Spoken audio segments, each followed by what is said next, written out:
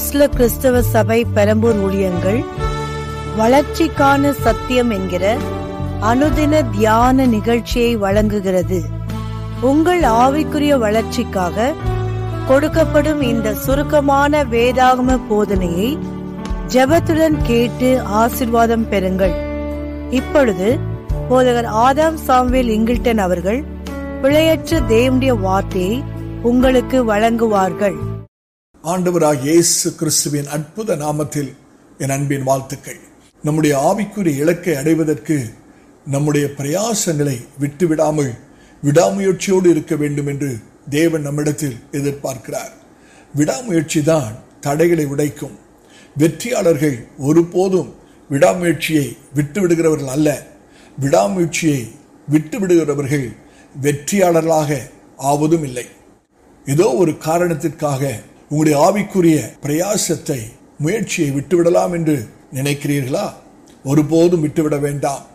விடாமுயற்சியோடு தொடருங்கள்.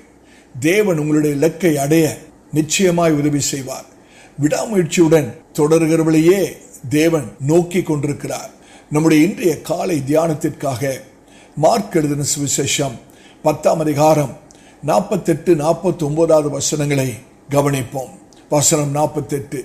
அவன் பேசாதிருக்கும்படி அநேகர் அவனை அதட்டினார்கள். அவனோ தாவிதின் குமாரனே எனக்கு இரங்கம் என்று முன்னிலும் அதிகமாய் கூப்பிட்டான். வசனம் நாற்பத்தொன்பது இயேசு நின்று அவனை அழைத்து வரச் சொன்னார். அவர்கள் அந்த குருடனை அழைத்து திடன்கோள் எழுந்திரு உன்னை அழைக்கிறார் என்றார்கள். அந்த குருடனாகிய பத்திமேவுக்கு தன்னுடைய கண்ணியத்தை பார்க்கிலும் விடுதலை பெரிதாய் தெரிந்தது. மற்றவர்கள் தன்னை எப்படி பார்க்கிறார்கள் என்பதை பார்க்கிலும் தான் மற்றவர்களை பார்ப்பது பெரிதாய் தெரிந்தது. மனுஷனிடத்தில் பிச்சை கேட்பதை பார்க்கிலும் தேவனிடத்தில் இரக்கத்திற்காக மன்றாடுவது பெரிதாய் தோன்றியது. சிந்தித்து பாருங்கள் அன்றைய தினத்தில் ஆண்டவராக இயேசு எரிகோவை விட்டு வெளியே வரும்போது திரளான ஜனக்கூட்டம் ஆண்டவராக இயேசுவை பின்பற்றினார்கள். அவன் மாத்திரம் அன்றைக்கு பணத்திற்காக பிச்சை கேட்டிருப்பான் என்றால் அதிகமான பணம் அவனுக்கு கிடைத்திருக்கும்.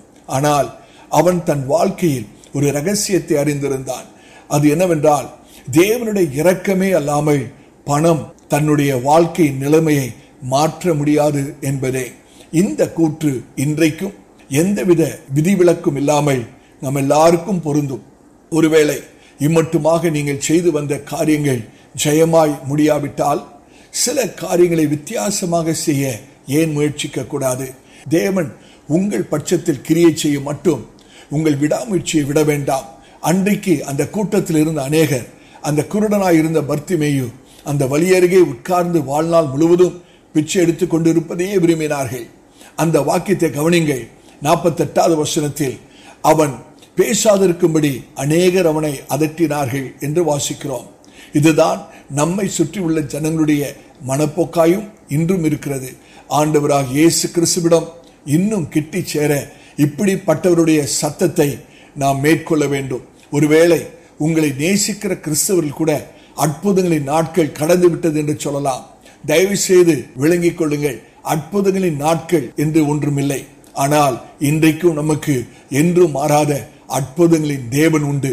இந்த வசன பகுதியில் அவன் மௌனமாய் இருக்கும்படி அநேகர் அவனை அதட்டினார்கள். அவனோ முன்னிலும் அதிகமாய் சத்தமிட்டு கூப்பிட்டான்.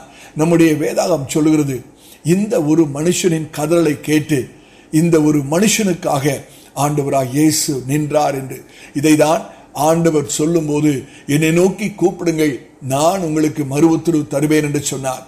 இந்த ஒரு மனுஷனுக்காக ஆண்டவராக இயேசு நின்றபோது அந்த மனுஷனை அதட்டின அந்த ஜனங்களுடைய மனப்போக்கு முற்றிலுமாய் மாறினது. இவனை அதட்டின அதே ஜனங்கள் இப்பொழுது அவனை பார்த்து திடன்கொள் எழுந்திரு அவர் உன்னை அழைக்கிறார் என்றார்கள். கர்த்தர் உங்களுக்காக உங்கள் பட்சத்தில் நிற்பாரானால் உங்களை சுற்றியுள்ள ஜனங்களுடைய மனப்போக்கு நிச்சயமாய் மாறும். இம்மட்டும் உங்களுக்கு பாதகமாய் இருந்தவர்கள் உங்களுக்கு சாதகமாய் மாறுவார்கள். கத்த நம் பட்சத்தில் இருக்கும்போது யார் நமக்கு விரோதமாய் நிற்க முடியும்? சில சமயங்களில் நம்மை உண்மையாய் நேசிக்கிறவர்கள் கூட நாம் ஒன்றை எதிர்பார்த்து ஏமாற்றம் அடைந்துவிடக் கூடாது என்று நம்மை காக்கும் பொருட்டாக நம்முடைய எதிர்பார்ப்பின் அளவை குறைத்து விடுவார்கள். மற்றும் சிலர் நீங்கள் பிரச்சனையில் அகப்பட்டு விட்டீர்கள். தேவன் உங்களை இதிலிருந்து விடுதலையாக்க எதிர்பார்க்க வேண்டாம் என்றும் சொல்வார்கள். ஆனால் அப்படிப்பட்ட சத்தங்களுக்கு செவிசாய்க்க வேண்டாம். இன்றைக்கு தேவன் யாரோடு பேசிக் கொண்டிருக்கிறார் என்பதை நான் அறியேன். ஆனால் தேவன் யாரோ ஒருவரோடு ஒரு நோக்கத்தோடு பேசிக் கொண்டிருக்கிறார் என்பதை நிச்சயமாய் என் ஆவிலே உணர்கிறேன். ஆண்டவராக இயேசுவை அடைய சகையு ஒரு மரத்தில் ஏற வேண்டியதாக இருந்தது. மற்றும் சிலர் ஆண்டவராக இயேசுவை அடைய வீட்டின் கூரையை பிரிக்க வேண்டியதாக இருந்தது. தேவ பிள்ளையே நீங்கள் இதை சிந்திக்க முடியுமானால் இதற்காய் செபியுங்கள். உங்களுக்கு மூச்சு இருக்கிற வரைக்கும் அவரை அழைப்பதை நிறுத்திவிட வேண்டாம். உங்களுடைய ஜீவ காலமெல்லாம் அவரை அடைய பிரயாசப்படுங்கள். ஓக்லஹாமா நகரத்தில் இருந்த ஒரு புகழ்பெற்ற வணிக தொழிலதிபர் ஒருவர் தன்னுடைய அலுவலக மேஜையில் ஒரே ஒரு வார்த்தையை எழுதி வைத்திருந்தாராம். அந்த வார்த்தை என்னவென்றால் விடாமுயற்சி என்பதுதான். ஆகவே ஒருபோதும் உங்கள் ஆவிக்குரிய வாழ்க்கையில் உங்கள் பிரயாசத்தையோ முயற்சியையோ விட்டுவிட வேண்டாம். ஒரு வசனத்தை வாசித்து முடிப்போம். ஏசாயா ஐம்பத்தி ஐந்தாம் அதிகாரம் ஆறாவது வசனம். கத்தரை கண்டடையத்தக்க சமயத்தில் அவரை தேடுங்கள். அவர் சமீபமாய் இருக்கையில் அவரை நோக்கி கூப்பிடுங்கள். கத்தர் உங்களை ஆசீர்வதிப்பாராக. ஆமேன்.